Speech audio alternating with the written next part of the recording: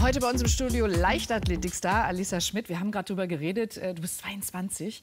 Äh, Wie oft darfst du oder hättest du, wenn wir die Pandemie nicht hätten, auf Partys gehen können? Das Leben ist bei dir ein bisschen anders strukturiert, ne? Ja, auf jeden Fall. Äh, Ich bin zum Glück sowieso jetzt nicht so der große Partygänger, aber wenn überhaupt, dann ist es eigentlich nur möglich in der Off-Season, was dann im Sommer zwei, drei Wochen sind. Geht jetzt los, hast du gesagt, auf Genau, jetzt am Wochenende ist der letzte Wettkampf und dann ist Off-Season. Ich freue mich auch wirklich auf meinen Urlaub. Äh, Habe ich jetzt lange drauf gewartet und dann muss man auch wieder neue Motivation schöpfen für die nächsten Wettkämpfe dann. Ja, du bist Sportlerin durch und durch. Ne? Obwohl, du hast ja leider keine Medaille gewonnen, noch nicht äh, bei Olympia, aber trotzdem ganz, ganz viele Herzen. Wer sie nicht kennt, hier eine kurze Zusammenfassung. Wobei ich glaube, das sind die wenigsten.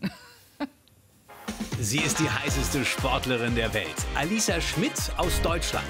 Seit vier Jahren wird sie international als World's Sexiest Athlete in den Boulevardzeitungen betitelt.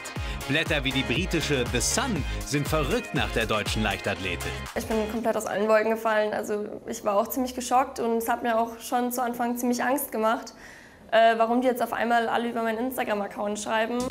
Alles beginnt im Jahr 2017. Damals wird sie vom australischen Magazin Busted Coverage zur heißesten Bahnathletin der Welt erklärt. Im Anschluss explodieren ihre Followerzahlen auf Instagram. Da hat sich natürlich vieles verändert und ist natürlich eine Umstellung gewesen, auf jeden Fall. Man muss jetzt auf jeden Fall darauf achten, was postet man und wie will man sich darstellen, wie viel zeigt man von seinem Privatleben und so weiter. Und der Hype geht weiter. Auch bei den Olympischen Spielen in Tokio im vergangenen Monat überschlägt sich die internationale Presse. Nicht wegen ihrer sportlichen Leistungen, denn sie ist Ersatzläuferin in der 4x400 Meter Staffel, sondern wegen ihres Äußeren. Mit Folgen. Hat sie Anfang des Jahres noch 1,5 Millionen Follower auf Instagram, sind seit Olympia noch einmal eine Million dazugekommen.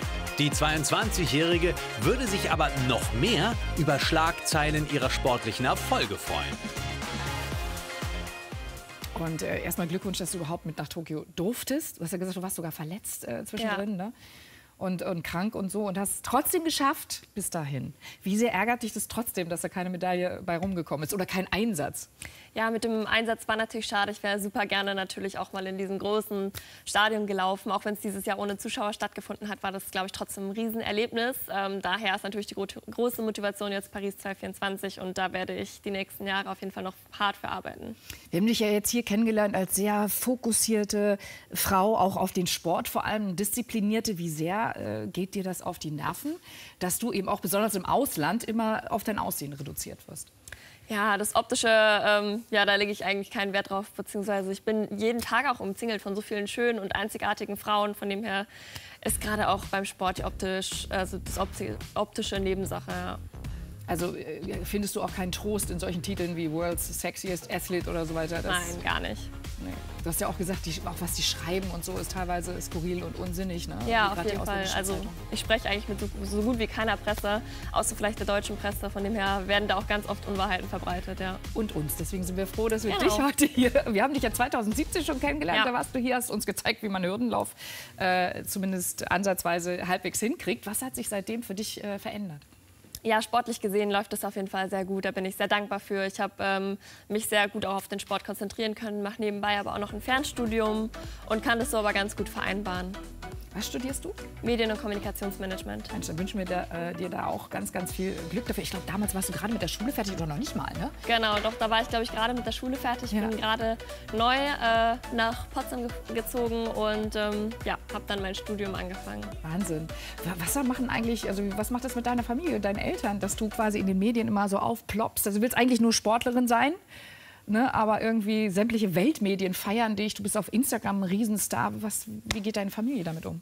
Ja, gerade als es losging, 2017, war das natürlich schon erstmal eine Umstellung und auch komisch, äh, gerade für meine Eltern. Ähm, mittlerweile ist das eigentlich bei uns auch kaum noch Thema. Okay, ihr schließt das dann einfach aus. Ja. Was allerdings Thema ist auch bei vielen, äh, wie du sagst, wunderschönen Frauen und tollen Frauen im Leistungssport, sind diese Outfits. Ne? Viele gehen auf die Barrikaden und sagen, wir wollen nicht mehr so super knappe Outfits tragen. Wie stehst du dazu? Ähm, ich persönlich muss sagen, ich habe damit kein Problem. Ähm, man kann sich theoretisch ja auch selber aussuchen, ob man jetzt zum Beispiel in einem längeren Oberteil läuft oder nicht. Das ist uns eigentlich nicht vorgegeben. Okay. Vielen ähm, ja, fällt es aber dann doch einfacher, gerade wenn man eben im Sprintbereich arbeitet, dass man da eben auf jede Hundertstel achten muss und dann ist das passende Outfit dann auch schon wichtig. Und ihr habt wahrscheinlich als Sportler auch so mit Körperlichkeit nicht so wirklich die, das Problem, kann ich mir ne, vorstellen. Ja. ja. Ähm, du hast äh, jetzt auf Instagram einen Riesenerfolg, bevor wir zu diesem Bademantel-Trick kommen. Wie sehr nimmt das Raum ein? Weil diese 2,5 Millionen müssen ja auch irgendwie in Anführungsstrichen beschäftigt werden. Wie viel Zeit wendest du auf dafür? Ja, Social Media ist mittlerweile schon recht viel Arbeit geworden, auf jeden Fall. Ich versuche aber trotzdem immer den Sport in, an erste Stelle zu, stehen, äh, zu stellen und alles andere kommt danach. Und wenn dann noch Zeit übrig bleibt, die Leute mitzunehmen, dann mache ich das auch sehr gerne und bin da auch sehr dankbar darüber, dass die ja, mich auch so gerne bei meinem Leben als Leistungssportlerin verfolgen. Das ist eigentlich auch eine ganz freundliche Community, ne? Oder erfährst du Ja. da auch viel Kritik, die sagen, Mensch, ist doch eigentlich Leistungssport irgendwie, warum äh, gibt es dann irgendwie diese Fotos und so? Äh, Was schreiben Klar, es gibt auch mal negative Kommentare, aber da äh, bin ich eigentlich zum Glück recht verschont worden bisher. Ja, du bist auch, glaube ich, mental sehr stabil, muss man ja auch als Ja. äh, Leistungssportlerin. So, dieser Bademantel-Gürteltrick, welchen hättest du denn gerne? Irgendwie, das sind so auch so fürchterlich schreckliche. Wer hat denn diese Bademäntel vorher getragen? Such dir einen aus. Genau. Für alle Frauen mit längeren Haaren jetzt interessant. das ist eigentlich super easy. Ja. Ähm, man legt sich den hier oben hin und dann wickelt man die Haare einfach nur hier rum. Ja, um den Bademantel. Ja, um den Bademantel. Gürtel? Und relativ eng, jetzt nicht so locker, wie ich das jetzt hier mache. Macht das dann bis unten und dann macht man das einfach mit dem Haargummi fest und kann so eigentlich auch ohne Probleme schlafen. Echt? Und hat am nächsten Morgen Also schöne Locken. Locken. so wie du heute früh. Sehr, sehr Genau. schön. Achso, Schokolade haben wir dir übrigens hingestellt, wenn du magst. Du hast ja gesagt, du hast einen Laster. Tagtäglich, tagtäglich isst du Schokolade, aber du musst trotzdem wahnsinnig diszipliniert sein. Verrat mir mal, weil ich bin so ein schrecklich undisziplinierter Mensch. Wie schaffst du es, jeden Tag dann auch wieder deinen inneren Schweinehund zu, zu überwinden? Hast du da so Tricks oder hast du manchmal auch einfach keinen Bock? Das ist tatsächlich auch meine große Schwäche, mich da gerade auch äh, in der Saison immer sehr gesund zu ernähren, weil ich eben Schokolade liebe. Und deswegen darf das bei mir auch äh, an keinem Tag fehlen. Ich gönne mir da jeden Tag so eine Kleinigkeit. Und ähm, ja, ist aber eine Gewöhnungssache. Also wenn man dann drin ist in der gesunden Ernährung, dann fällt es einem eigentlich auch relativ einfach. Man braucht nur so ein paar Wochen. Was hast du heute gefrühstückt? Ähm, heute Morgen tatsächlich noch gar nichts. Oh Gott, dann gib dem Mädchen was zu essen. Von mir aus kannst du dir gerne gleich eine Schokolade gerne. nehmen.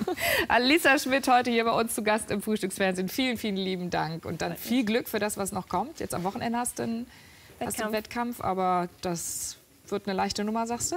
Leichte Nummer, aber das ist nochmal ein Spaßwettkampf. Den so, kann ich nochmal genießen und dann danach die Off-Season. Okay, viel Glück, Alisa, für deinen Weg. Was auch Dankeschön. immer dir begegnen wird. Danke. Jetzt Chris.